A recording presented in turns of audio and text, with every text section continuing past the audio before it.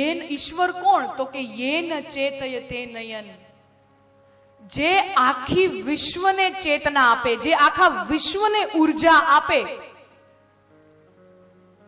પણ જેને પાછું, આખું વિશ્વ મળીને પાછું કાંઈ આપી શકતો નથી, પાછી એને ઊર્જા આપી શકતો નથી, પાછી એને ચેતના આપી શકતો નથી, વળતરમાં એને કાંઈ આપી શકતો નથી, ઈ દરેકે દરેક તત્વ ઈશ તત્વ છે.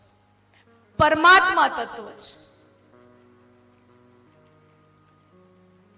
સૂર્ય આપણને લાખો ટન એનર્જી આપે. બદલામાં આપણે સવારે અમુક લોકોને જેને આદત હોય તો સૂર્યદેવ આપણે ભાસ્કરને આપણે જે લોટો ચડાવીએ,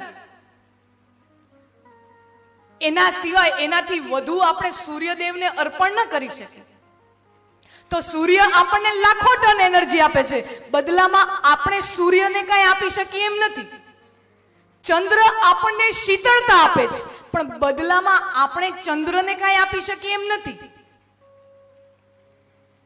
નદીઓ, એની આસપાસ માનવ સંસ્કૃતિનો વિકાસ થયો છે.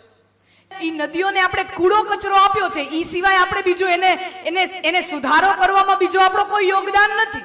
તુલસી આપણને ઓઝોન રિચ ઓક્સિજન આપે. Ozone rich oxygen. બદલામાં આપણે તુલસીજીને કઈ આપી શકીએ એમ નથી. તો કહેવાનો મતલબ એમ છે કે જ્યાં જ્યાંથી આપણને કંઈક મળે છે, પણ આપણે એને પાછું આપી શકતા નથી. એ દરેકે દરેક તત્વને કે જીવને આપણે ઈશ્વર તરીકે પૂજ્યા છે.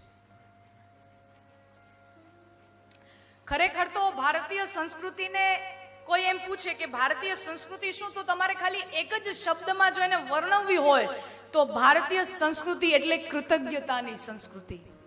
ગ્રેટિટ્યુડની સંસ્કૃતિ કે જ્યાં દરેક તત્વની સન્મુખ આપણને થેન્કફુલનેસ છે. ગ્રેટિટ્યુડ છે, કૃતજ્ઞતા છે. કોઈને પૂજવું એનો મતલબ શું કે એ જે આપણા જીવનમાં યોગદાન આપે છે, એના બદલામાં આપણે એને વંદન કરીએ છીએ. એ આપણી કૃતજ્ઞતા છે. તો કૃતજ્ઞતા શબ્દની અંદર આખી ભારતીય સંસ્કૃતિ સમાઈ જાય.